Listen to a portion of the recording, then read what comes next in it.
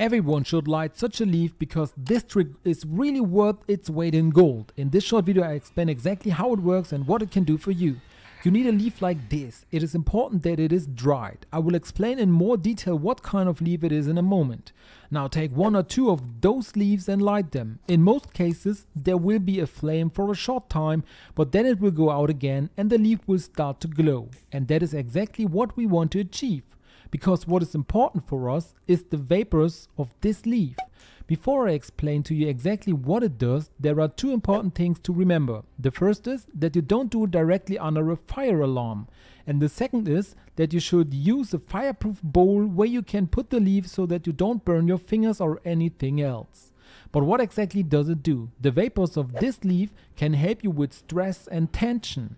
Also, if you have insomnia or anxiety, this leaf can help you to calm down again. Light it and let it glow down. The vapors provide a clear relaxation. However, you should not light more than one or two leaves. You may have to light them several times if they go out again. But which leaves are we talking about here? These are bay leaves. You can get them in almost every supermarket, but also on the internet.